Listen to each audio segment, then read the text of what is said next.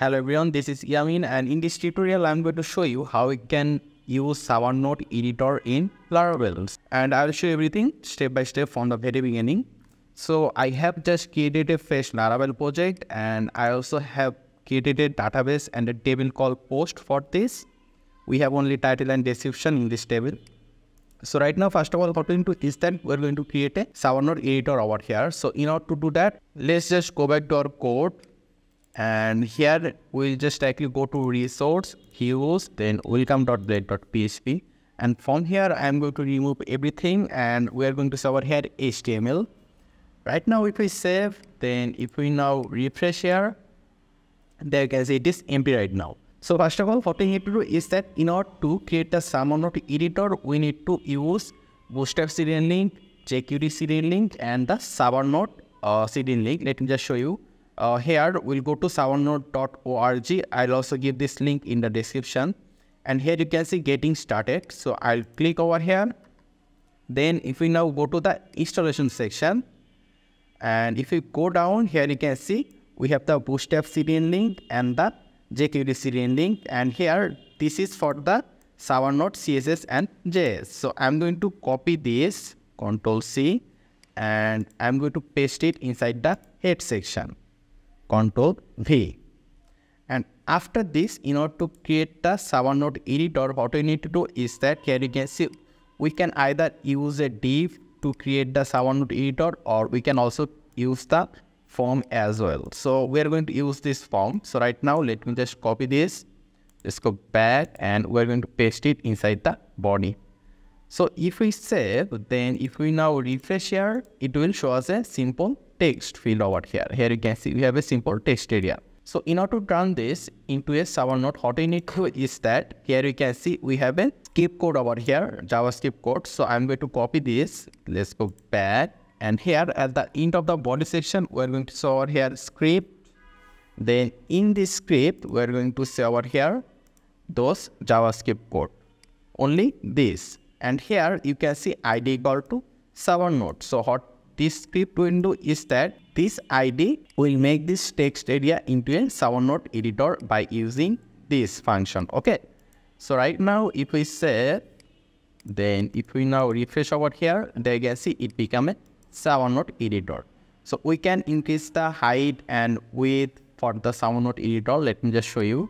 Uh, here, if we just go down, uh, here you can see placeholder hello bootstrap 5 tab size 2 and here you can see height. So let me just copy this, control C. Let's go back and uh, let me just write it like this.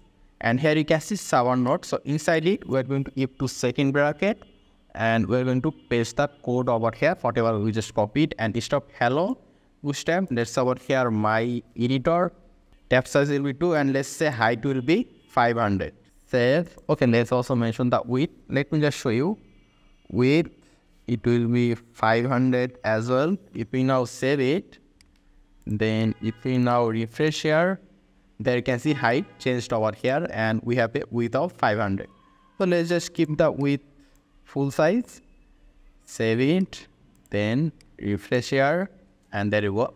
So right now let me just make a input field over here uh, in this form.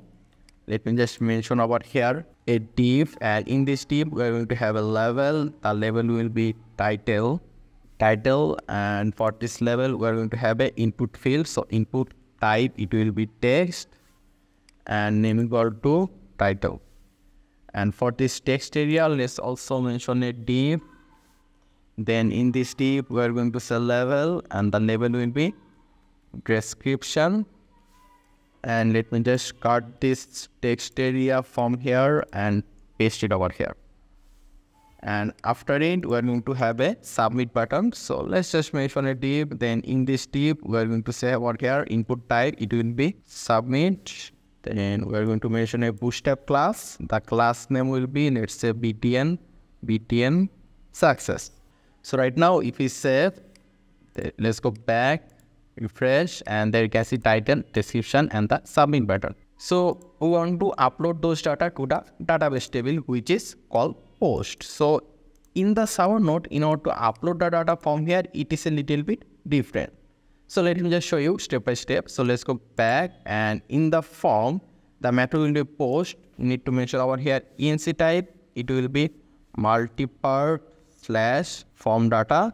Then we also mention the, we also need to mention the at the rate of CSRF token. And in this form, we're going to say our head action. And let's keep our head to second bracket. We'll say our head url to first bracket. Let's say the function name will be upload. Let's save it. Then let's go to our routes then web.php and let me just write it out over here. We're going to say our here route to our clone.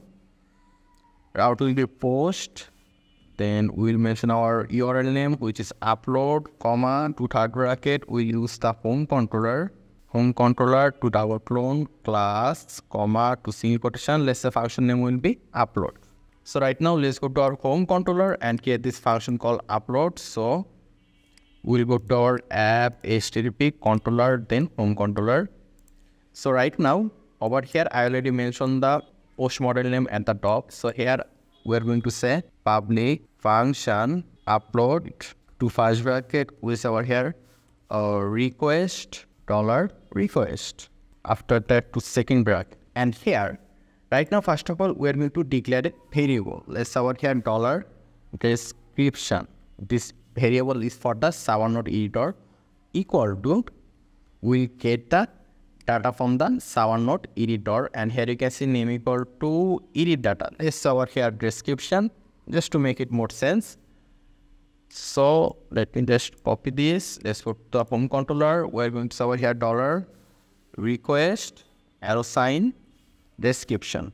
And after this, I'm going to copy some code and the code is this one. Here we have like uh, a 13 line of code and if I start typing it, it will take some time. So I'll just copy and paste and don't worry, I'll also give this code in the first comment so that you can also copy the code and paste it wherever you need. So let me just copy this. Let's go back and I'm going to paste it over here. And here you can see DOM equal to new DOM, uh, DOM document. We need to write this for Summernote and after it here you can see DOM load HTML dollar description. We are mentioning this variable over here then what we are doing over here is that by using the tag name, we are separating the image file. So whenever we upload any image over here, let me just show you. We can upload any image over here. Uh, if I now upload an image over here, there you can see. If we upload any image, the image, uh, the tag for the image will be img tag, right? So by using the image tag, we are separating the image and after it we are mentioning the for each loop because there might be multiple image. We are saying over here this dollar image file as image. We are getting the image source, we are decoding it and here we are uploading the image, this location. You can change the location and this folder will be in the public folder and we are giving the image a unique name by using the time function. The type will be .png uh, we are mentioning the image name over here and here you can see set attribute uh, what will be the image height width and the position we are also mentioning over here because in Summernote we can change the image height like this. Okay also the position as well like this. Okay so we are mentioning our mentioning it over here and after it we are saying dollar description equal to dom save html so whatever we have over here we are storing it in this dollar description variable. So after it, what we can do is just, just normally we can just declare a variable over here, dollar post equal to, uh, we are going to mention our table model name, which is post. So we'll say here new post. Then we'll say here dollar post, this arrow sign, we set title equal to dollar request, this arrow sign title. And this title will come from here. You can see name equal to title and let's go back and after it we're going to select here dollar post this arrow sign description equal to and this description will come from the database table from here obviously. So and we are going to mention this dollar description variable over here okay? And after it we can just say over here dollar post this arrow sign say. And after saving the data we'll just keep the user to the same view. So we'll say over here return redirect this arrow sign back. Okay so let's save it and let's go back to our browser. Let me just refresh here.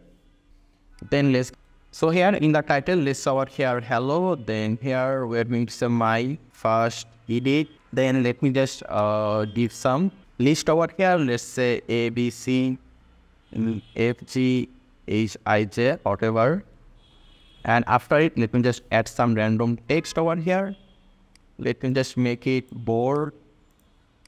And after this we're going to add an image. Let's upload uh, this image. Click open. Let's resize the image. We can also change the image position over here as you can see. And we can also like change the image position to the left side. I think that will be better. We can also increase the image size like this as well. So let me just write some random text over here. Then if we now click on the submit button there you can see it's reloading and the data is uploaded. So right now and there you can see we have the description over here. And if you want to just see what is inside this description uh, let me just show you. If i now click on edit there you can see it will show you like this. So right now how do you show this data in Laravel. You're able to upload it, right? But how do you show it in Laravel? Let me just add one more data over here. Let me add one more image here. Uh, let's choose this image, click open, then click submit. There you go. So right now, let me just show you how we can display the data from the Summernote editor. So let's go back. And right now, in the web.php, let me just copy this route, Control C, then control V and this route will be get and here we're going to say the route name will be show. We'll use the home controller. The function name will be show. So let's go to our home controller. Then we're going to say over here public function show to first bracket then to second bracket. And we're going to say over here dollar data equal to let's say we'll get all the data cost all. Then we need to return this data to a specific view. So we are going to select here return view and the view will be let's say show. The blade file name will be show and we're going to select here compact and it will be this data. Control c control v like this. So right now let's go and create this show.blade.php in the views folder. So let me just right click then click new file and we're going to serve here show dot blade dot PHP, control s then save. And here let's just give a simple uh, html tag. And we are sending the data to this view right? And there's multiple data. So we need to use for each loop over here. So we are going to serve here at the rate of for each then dollar data as dollar data then in the for each loop at the top int for each.